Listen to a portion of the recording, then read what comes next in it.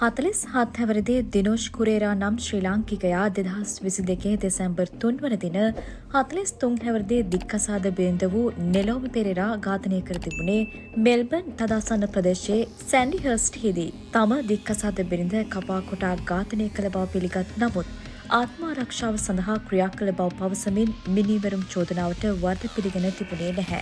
ඕගේ දික්කසාද බිරිඳ නෙලෝමි පෙරේරාගේ මරණය සම්බන්ධයෙන් ඔහු මාසයක නඩු විභාගයකට මුහුණ දුන්නා. වික්ටෝරියානෝ ශ්‍රේෂ්ඨාධිකරණ ජෝරි සභාව පසුගිය සිකුරාදා මිනිමරුම් චෝදනාවට හතලිස් හත් හැවරදි දිනුෂ් කුරේරාකින් පැය තුනකට ආසන්න කාලයක් ප්‍රකාශ සටහන් කරගෙන තිබෙනවා.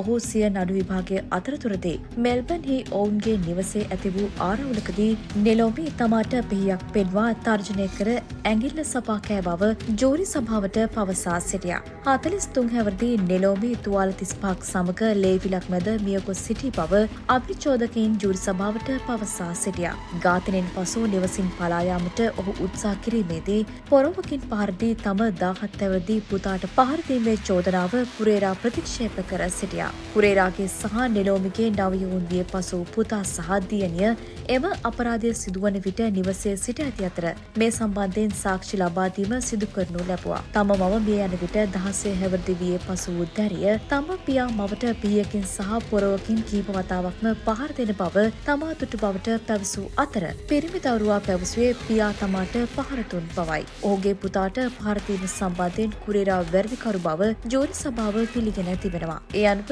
ආත්මාරක්ෂාව සඳහා ක්‍රියා කළ බවට පාපුච්චාරණය කළත් මිනිවැරුම් චෝදනාවට ඔහු වර්ධකරු බව ඔස්ට්‍රේලයානු අධිකරණය තීන්දු කර තිබෙනවා. තීන්දුව දෙනවිට කුරේරා ඇසිපිය නොහෙලා කෙලින් බලා සිට ඇති අතර ඔහුට අදාළ දනුවම් පසුව නියම කරනු ඇති බවයි විදෙස් මාධ්‍ය වාර්තා කළේ.